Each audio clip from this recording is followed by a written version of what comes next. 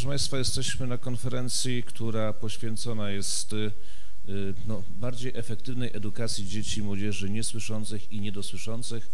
Y, poświęcona jest ocenie stanu obecnego, rekomendacjom i wyzwaniom, jakie są przed nami. Słyszeliśmy już wystąpienia pani profesor Krakowiak z Katolickiego Uniwersytetu Lubelskiego, wybitnego specjalisty w tej dziedzinie. Słyszymy wystąpienie pana profesora z Uniwersytetu Warszawskiego, lingwisty, językoznawcy. Y, za chwilkę będą wypowiedzi również osób niesłyszących. Wszystko y, pod wpływem y, pani poseł Iwony Kozłowskiej, która stoi na czele zespołu parlamentarnego do spraw osób niesłyszących, z udziałem pana senatora Marka Plury, który stoi na czele parlamentarnego zespołu osób z niepełnosprawnościami. I wszystko po to, żeby uczynić naukę osób niesłyszących i niedosłyszących jeszcze bardziej efektywną. Mamy dziś w Polsce ponad 12 200 uczniów, 12 200 osób z, e, z tą niepełnosprawnością, jeśli można to nazwać niepełnosprawnością, bo tu też jest pewien rodzaj e, specjalna potrzeba edukacyjna, e, z czego, jeśli dobrze zauważyłem, ponad 8 tysięcy jest w szkołach ogólnodostępnych. To mniej więcej odpowiada temu procentowi, który w ogóle towarzyszy osobom z orzeczeniami o potrzebie kształcenia specjalnego. 70%, około 70% e, tych e, dzieci i młodzieży to są uczniowie szkół ogólnodostępnych z woli rodziców, bo to rodzice podejmują decyzje w tej sprawie. Jesteśmy tutaj po to, proszę Państwa, żeby rozpoznać wszystkie te potrzeby osób e, niesłyszących i niedosłyszących i zastosować w praktyce edukacyjnej w polskiej oświacie, w polskich szkołach i w polskich przedszkolach, bo od przedszkoli zaczynamy, te metody nauczania, które dla nich będą jak najbardziej efektywne. To jest w ogóle bardzo ciekawe zjawisko. Osoby niesłyszące i niedosłyszące mówią językiem migowym, a nie muszą mówić językiem polskim. To są osoby, które mówią specyficznym językiem i to polskim językiem migowym. Takich języków jest 170 czy 157 tak, na całym świecie. Jest potrzeba kształcenia ich również w języku polskim, podobnie jak w językach, jak w językach obcych.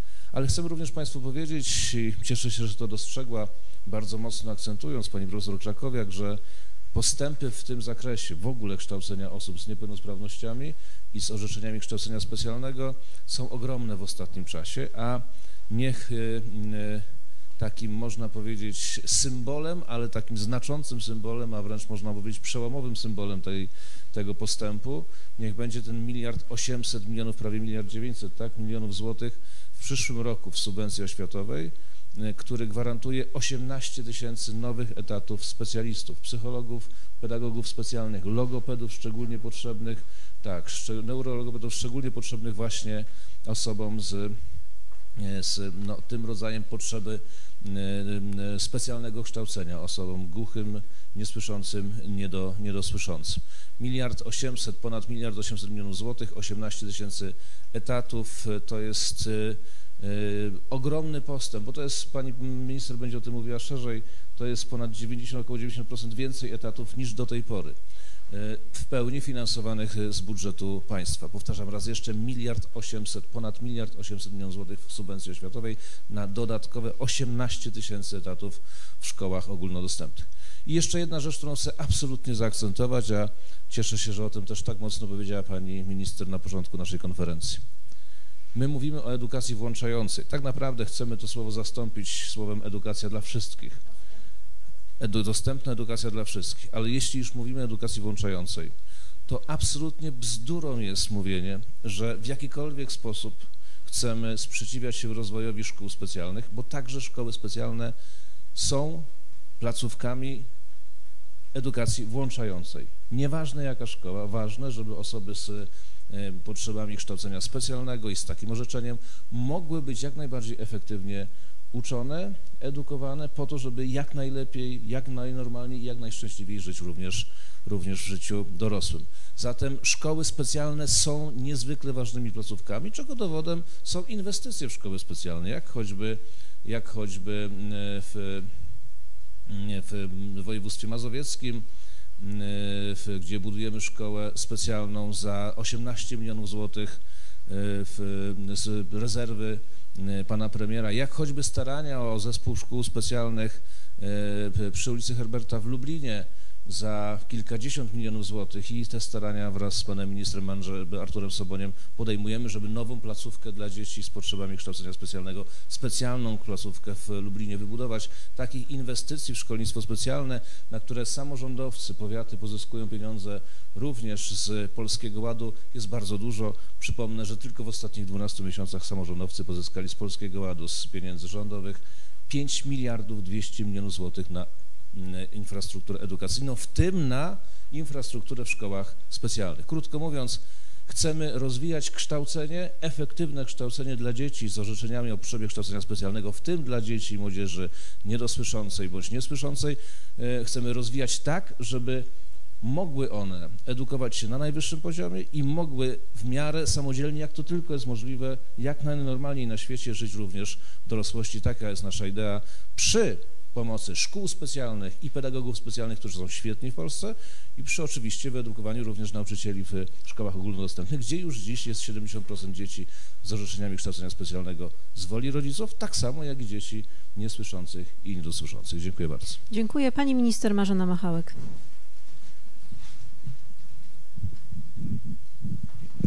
Pan minister w zasadzie y, powiedział najważniejsze kwestie i podsumował po pierwsze nasze działania jako Ministerstwo Edukacji i Nauki, y, też w kontekście tych pierwszych dwóch jakże ważnych wykładów na tej konferencji. Przede wszystkim takim wnioskiem, który trzeba bardzo mocno podkreślić, to jest po prostu elastyczne i racjonalne podejście do edukacji dzieci ze specjalnymi potrzebami edukacyjnymi. Świat się zmienia, medycyna się zmienia, możliwości się zmieniają Dzisiaj świat y, y, ludzi niepełnosprawnych, szczególnie tych, którzy są słabo słyszący albo głusi, niesłyszący, jest zupełnie inny. Inne były możliwości, y, gdy dzisiaj mają 30-40 lat, inne są możliwości małego dziecka, bo dziś już możemy to bardzo szybko zdiagnozować i bardzo szybko objąć wsparciem, tak by z tego typu zaburzeń w miarę możliwości dziecko wyprowadzić. Więc łączą się dwa światy rzeczywistości ludzi dorosłych, którzy nie mieli takich możliwości i dzieci, noworodków, które, y, dzieci niemowlaków, które dzisiaj możemy już zbadać, objąć aparatowaniem, ćwiczeniami, y, wszelką y, terapią, tak by w życiu dorosłym mogły żyć i funkcjonować w pełni, bo o to chodzi, żeby funkcjonować w pełni, jeśli chodzi o życie społeczne i zawodowe. Tak jak już y, tutaj y, padło, 200, ponad 200-260 tysięcy dzieci w polskim systemie, w tym przedszkolach, są to dzieci ze specjalnymi potrzebami edukacyjnymi. W zależności, czy to jest przedszkola, czy, przedszkole, czy szkoła średnia, ten procent y, w szkołach ogólnodostępnych jest różny. W przedszkolach jest ponad 70, później w szkołach jest około 65.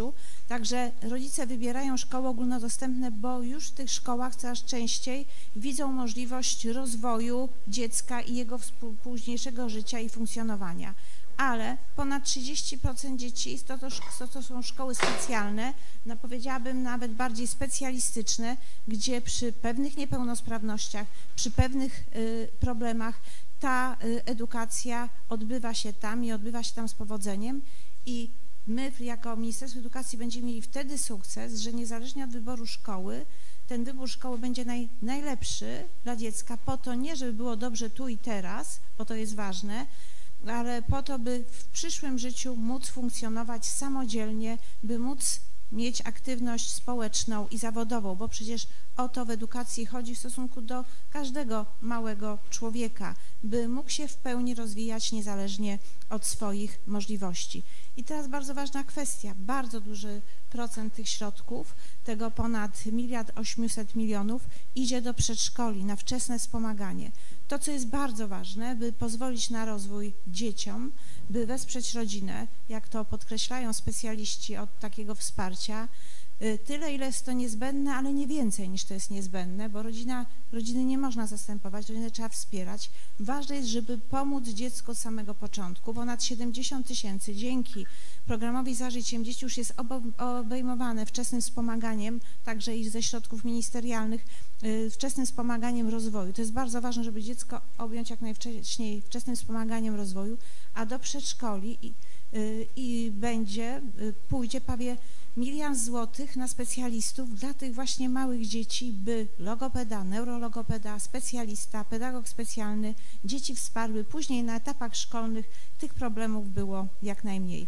Przed nami działania które z, są bardzo ważne, żeby to wszystko zintegrować, lepiej oceniać potrzeby dziecka, lepiej diagnozować, szybciej e, trafić z pomocą. Nad tym e, cały zespół, w tym też pani profesor Krakowiak jest naszym ekspertem, tu chcę podkreślić i e, pomagała nam wypracowywać różne rozwiązania. My te rozwiązania wprowadzamy. Już dzisiaj też w jaki sposób znaczymy te środki bardziej efektywnie w systemie informacji oświatowej trzeba wpisywać, jakie zajęcia, jakie zadania są realizowane dla dzieci ze specjalnymi potrzebami, bo to ten miliard 800 milionów to są dodatkowe środki na specjalistów w szkołach ogólnodostępnych, ale na wszystkie dzieci ze specjalnymi potrzebami to jest prawie 13 miliardów złotych. Naprawdę to są spore środki, by mądrą, efektywną, dostosowaną do każdego dziecka edukację zorganizować, tylko musimy wiedzieć jak, musimy się uczyć jak i musimy korzystać z rozwoju nauki, z rozwoju medycyny, rozwoju pedagogiki, pedagogiki specjalnej, z tych wszystkich metod, które dzisiaj są już o wiele bardziej dostępne, ponieważ medycyna się rozwija, rozwija się pedagogika, diagnostyka, możemy szybciej, lepiej i wcześniej trafić z pomocą do dziecka. I podkreślę, im wcześniej trafimy Zmieniając początek historii, zmieniamy całą historię dziecka. Chcemy tak robić, żeby od najwcześniejszych miesięcy, tygodni życia, kiedy są problemy, do dziecka trafić, do rodziny trafić i wesprzeć. Otwieramy nowe kierunki studiów, studiów podyplomowych, doradca rodziny, wczesne wspomaganie rozwoju, praca ze zróżnicowanym zespołem edukacyjnym, y, praca z dzieckiem niedosłyszącym, z problemami z mową. To są wszystko dodatkowe y, specjalności, w których nauczyciele mogą doskonalić swoje umiejętności w pracy z dziećmi. Przed nami, za nami dużo pracy, przed nami jeszcze więcej, a dzisiejsze spotkanie to kolejne perspektywy spojrzenia na problemy, które w wielu wypadkach można zniwelować albo wesprzeć ludzi w tym, by mogli szczęśliwie żyć, bo to jest najważniejsze. Dziękuję. Pan minister Paweł Wdówik.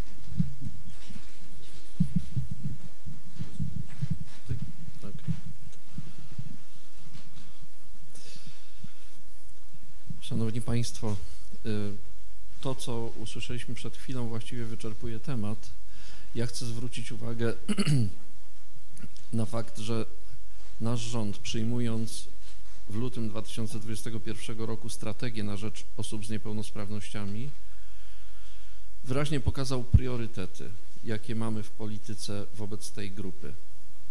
Pierwszy priorytet to jest zagwarantowanie prawa do niezależnego życia czyli do samodzielnego podejmowania decyzji. To nie dotyczy tylko osób z niepełnosprawnością, to dotyczy także ich rodzin.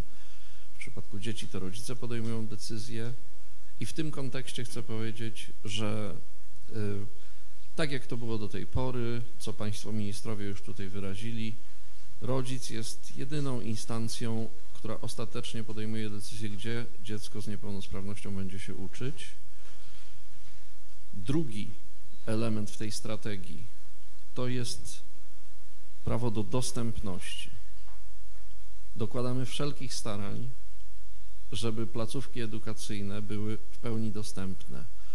Y, organy prowadzące mają do dyspozycji Fundusz Dostępności, mają do dyspozycji Państwowy Fundusz Rehabilitacji Osób Niepełnosprawnych, gdzie przygotowujemy wsparcie także, zwłaszcza dla szkół specjalnych, ale nie tylko. Uruchamiamy w tej chwili wypożyczalnię sprzętu. Kupiliśmy sprzęt za około 170 milionów złotych, który będzie wspierał także dzieci w edukacji, w szkołach ogólnodostępnych, y, po to, żeby dać im właśnie możliwość pełnej niezależności. I trzeci priorytet to jest właśnie prawo do edukacji. My doskonale wszyscy wiemy, że edukacja zwiększa przynajmniej dziesięciokrotnie szanse na samodzielność w życiu. Y, osoby niepełnosprawne, które ukończyły studia wyższe, mają szansę na zatrudnienie y, mniej więcej dziesięciokrotnie wyższe niż osoby po szkole podstawowej czy zasadniczej zawodowej, y, szkole branżowej teraz. To, jest, to są fakty. 70% studentów z niepełnosprawnością podejmuje pracę. I w tą stronę idziemy. Edukacja to jest także edukacja na poziomie wyższym. To, co się dzieje na polskich uczelniach, może być spokojnie wzorem dla innych krajów. Program Uczelnia Dostępna, który prawie miliard złotych w ostatnim czasie y, y, y, otrzymał i w dużej części już skonsumował, zmienia zasadniczo oblicze jakości kształcenia. Natomiast to, co jest ważne dla nas, to żeby jasno powiedzieć, nie ulegamy żadnym mitom, ani tym mitom, że szkoły specjalne są złe, ani tym mitom, że szkoły, szkoły ogólnodostępne są zagrożone przez fakt, że dzieci niepełnosprawne tam się pojawiają. Dobrze zorganizowana edukacja zapewnia wsparcie dziecku z niepełnosprawnością bez uszczerbku dla edukacji dzieci pełnosprawnych. I to musi wybrzmieć. Jeżeli y, ktoś widzi, że dziecko pełnosprawne traci, znaczy źle zorganizowana jest y, metoda włączenia dziecka niepełnosprawnego. Po to są indywidualne programy edukacyjno-terapeutyczne, żeby dopasować rozwiązania w taki sposób, żeby maksimum dać dziecku niepełnosprawnemu, nie ujmując nic dziecku pełnosprawnemu. My jesteśmy rządem, który odpowiada za wszystkich obywateli, pełnosprawnych i niepełnosprawnych i na pewno nie wprowadzimy żadnych rozwiązań, które by szkodziły jednej lub drugiej grupie. E, chcę też podtrzymać to, co powiedział pan e, minister Czarnek. Szkoły specjalne są bardzo ważnym elementem. W wielu sytuacjach najlepszą opcją e, dla wykształcenia dziecka z niepełnosprawnością, nadania mu, przekazania mu odpowiednich kompetencji. Będziemy dalej tworzyć programy i z całą pewnością, choć temat jest oczywiście delikatny, bo Unia Europejska ma tutaj własny punkt widzenia, Polska utrzyma ten kierunek równo, równoległego wspierania i edukacji w szkołach ogólnodostępnych dla dzieci niepełnosprawnych i edukacji w szkołach specjalistycznych, bo to one są tym y, największym zasobem wiedzy, doświadczenia i rozwiązań dotyczących wspierania y, rozwoju dzieci z niepełnosprawnością. Wczoraj otworzyliśmy y, portal zażyciem.gov.pl, który w ramach e, rządowego programu Za Życiem jest wsparciem informacyjnym, przede wszystkim dla rodziców, ale także dla wszystkich osób niepełnosprawnych. W kolejnym etapie będziemy otwierać infolinię Za Życiem, e, gdzie także pojawią się doradcy rodziny przewidziani w, e, w, w programie Za Życiem. Razem z Ministerstwem Edukacji nad tym pracujemy. Dziękuję bardzo.